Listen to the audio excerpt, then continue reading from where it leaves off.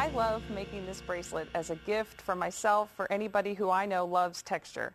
It captures everything that you want in every detail, a rubber stamp, a leaf, whatever it is you have on hand.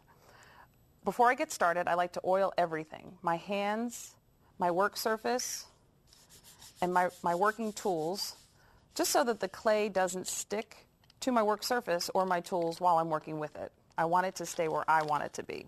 I'm going to take the clay out of the package. I always like to keep it sealed up so it doesn't dry out. I'm just going to condition it just a little bit. And then I'm just put it between the cards. I'm going to be rolling this out to a three card thickness to start. It's a great thickness to work with before adding my texture. I'm going to just flip it as I work so that it's not giving me a hard time.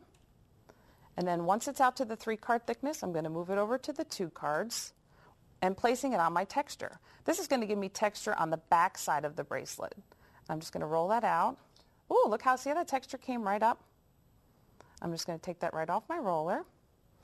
And now I'm going to move it over to my non-stick work surface, which will let me then do more work with the clay, guaranteeing it won't stick to anything.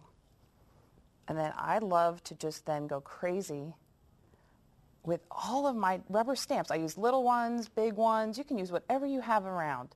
You can use the same texture sheet and just flip it over on top of the clay. And I had these drafting tools on hand. My husband's an architect. I had these drafting tools and like it just leaves this amazing detail. Look at that. Look at those dots. Like they're just so cool. Once all of the texture's in place, I'm going to cut the squares out that make up the bracelet. I'm just going to take a simple clay cutter.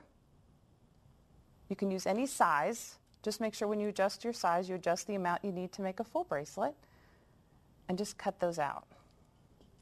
And once they're cut out, I need to make the holes that I'll then later use to link the um, bracelet together with jump rings. And I'm just using a, a regular drinking straw, a little cocktail stir to make my holes. And then once I'm at this stage, I'm done for now.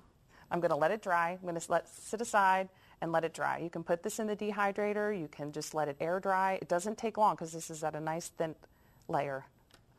Once it's dry, I'm going to go into all of those holes that I created and I'm just going to take the jeweler's files and really get in there and make them nice and smooth because this is going to be a beautifully finished piece of jewelry and you want all of your holes to be refined and really to the finish that this piece really deserves.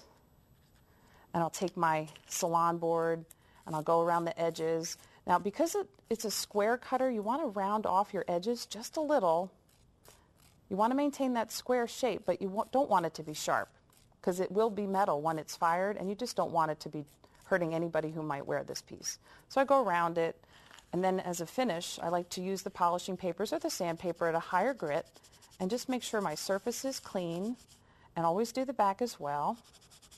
And just make sure everything is nice and smooth. Now it's time to fire. I'm going to get my safety glasses on and I'm going to start up the torch. I'm Going to ignite it and get it going.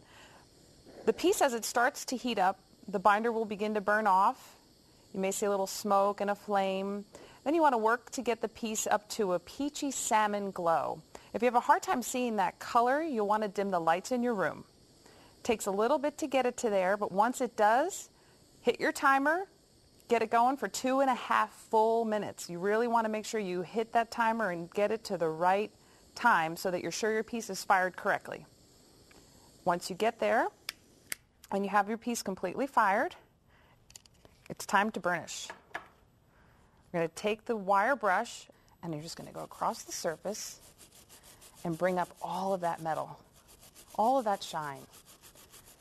And you can leave it at a satin finish or you can hit it with the burnishing tool and just burnish the surface until it's really really, really shiny. Get up that real high polish. And to get it even further, you can use the paste. Use the jeweler's paste on the surface with a old t-shirt, little piece of a t-shirt, whatever you might have that's a lint-free cloth. Just rub it across the surface and it'll really bring up that mirror finish. Like you see in these pieces here. See how shiny these are? And then once you have them all assembled in the order that you like, you, you may, if you have time and you think about it, you may come up with a pattern that has to go in order. I tend to not think that way. I like to mix it up. Uh, you're going to just start linking your jump rings. And I found these jump rings, and I use those in the center. So I'm linking my larger jump rings to the center jump ring like you see here. And you want to link as many as you need together to make a full bracelet that'll go around your wrist. And you add a clasp to one end. I like to use a lobster. And you want to choose a size that's appropriate for you and for your piece. And then I also like to add a length of jump rings on the end just so that it's adjustable if it's not for me. Say if it's for my mom or for somebody else that you're making this for, for your mom, you might want to just add a couple extra jump rings so it's sure to fit. And just want to take a look at the finished pieces one more time so you can see the different ways that it can be completed. We have on the left, we have the satin finish. That's just done with the steel brush. And then these on the ends, the other two, the one in the middle and the one on the end, those have a liver sulfur finish to them to make them patina to make them look a little older and that gives you a lot more contrast between the depths of the texture and then the smooth surface finish. So whether you're making this piece for yourself, your sister, your grandmother, find a texture that works for them and make them a bracelet today.